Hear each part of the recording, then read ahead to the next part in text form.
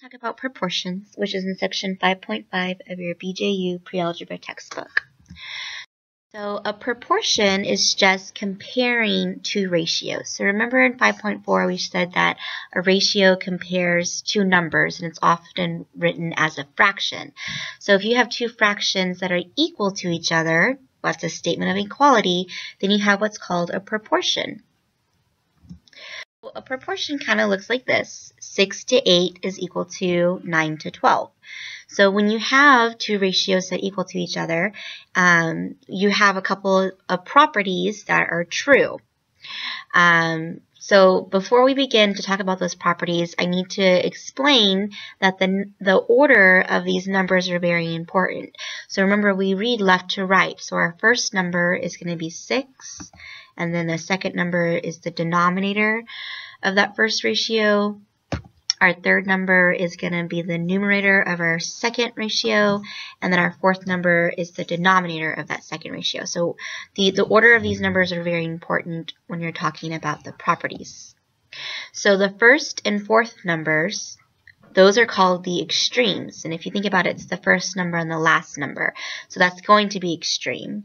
Um, it's either first or last. And then the second and third numbers, those are in the middle and we call those the means, the middle.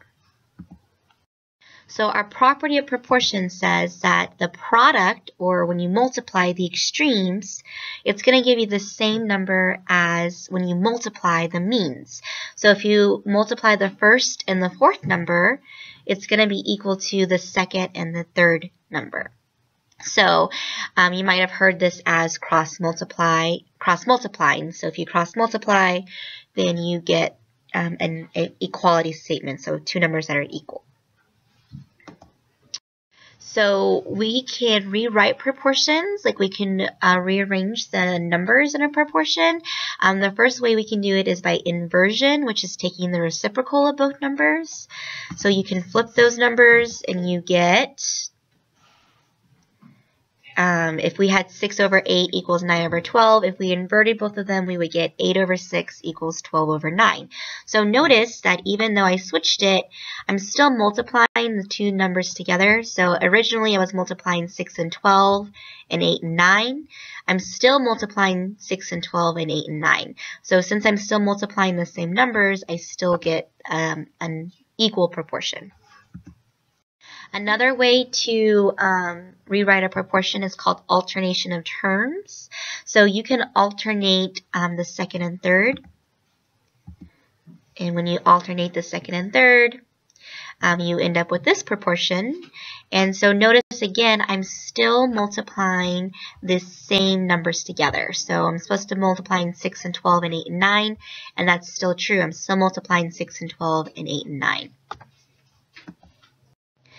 Um, so here's another example when you're alternating terms. So for this one, we end up with um, 6 and 12 and 8 and 9 still. So all I did was um, alternate those two. Um, and it still works. And, and the reason why is because I'm still multiplying A and D together and B and C together. So let's do an, an example using proportions. So let's say we have 3 over 5 equals 12 over 20. And we want to write a proportion by inversion. Um, and a proportion by alternation of terms. So if we invert it, we just take the reciprocal, so we end up with 5 over 3 equals 20 over 12. And if we alternate the terms, um, we just need to alternate the second and third term, and we get 3 over 12 equals 5 over 20. So this one we're actually going to use the property of proportions. So we're going to cross multiply and solve for n. So if we multiply the extremes, we get 6n. And then if we multiply the means, we get 15 times 8. So we get 6n equals 15 times 8. So 15 times 8 is 120. And then if we solve for n, we divide both sides by 6. And then we find out that n is equal to 20.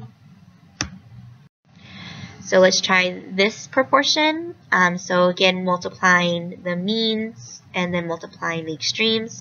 So when we multiply the extremes, that's 32 uh, times 27. And we multiply the means, we get 108 times x. So 32 times 27 is 864. We divide both sides by 108, and then we get x is equal to 8. So let's try this one. So cross multiply. So we end up with um, 8 is equal to 7x. We divide both sides by 7, and we get approximately 1.14. Another one, so this one would be 50x equals 8 times 9, which is 72. Divide both sides by 50, and we get approximately 1.44.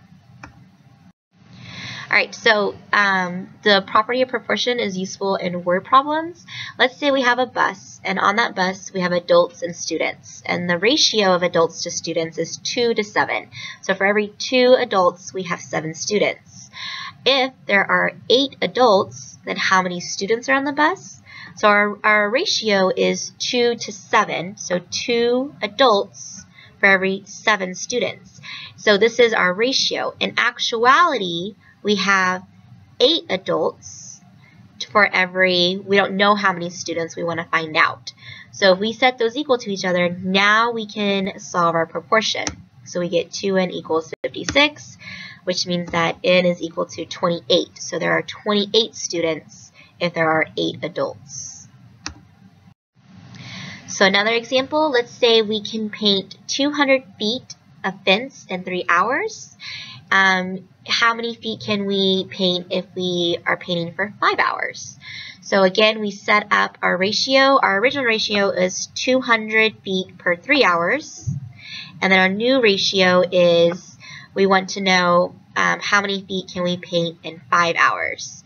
Um, so we cross multiply and then we end up with x is equal to 333 feet approximately.